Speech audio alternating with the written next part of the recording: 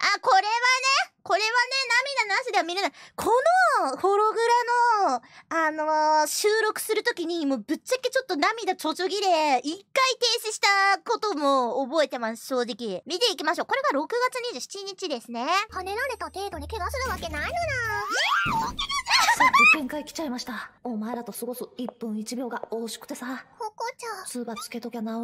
治るわけねえだろ。はいな、なんだこれ？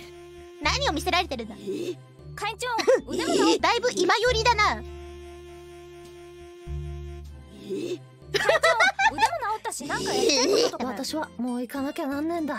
約束の地へ。ほこちゃん私と過ごした1年半。一どうだった？年半か短いね。最高に楽しかったよ。全然退屈しなかったならググーお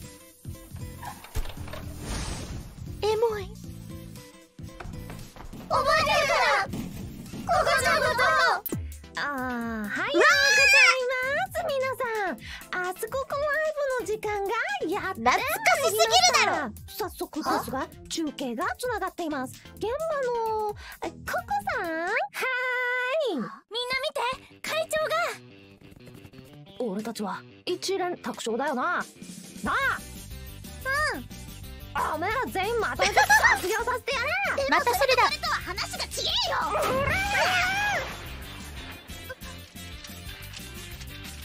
お金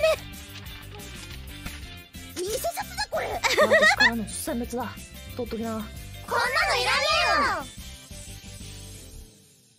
元気でな、おめえら。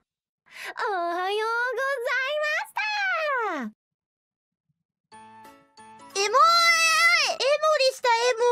これはねこ、これめっちゃ覚えてるよ僕さすがに。これ撮るときに、さっきちょっと涙が出ましたみたいな話したけど、卒業受け入れて前向きに楽しく、あの、送り出そうって思ってたんだけど、全然実感がどっかでなくて、このホログラ撮った時にめちゃめちゃね、なんか実感したんだよね。あ、もういなくなるんだ、みたいな。いや、めっちゃ覚えてる本当に。懐かしい。これが2021年の6月27日なんてもうすでに1年と3、4ヶ月、3ヶ月前ぐらいだな。懐かしいなぁ。